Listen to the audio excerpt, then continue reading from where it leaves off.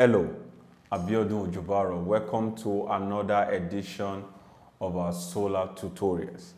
In this video, I'll be sharing with you one of the common mistakes during battery and inverter connection. And what is it all about?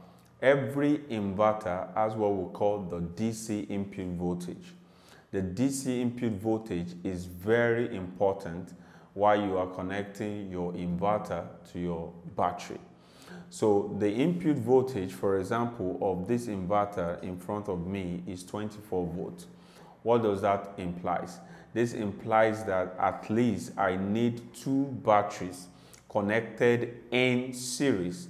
That is 12 volt plus 12 volt in series, that's 24, before this inverter can work effectively. If I connect this inverter, which is a 24 volt inverter, to a 12 volt battery, this inverter will not pick up. I mean, this inverter will not uh, function because it's not designed to work with 12 volt. So the inverter is designed to work with a 24 volt system.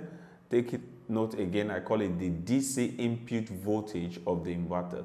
So anytime you are planning to connect an inverter to a battery, it is very important for you to check the DC input voltage of that inverter.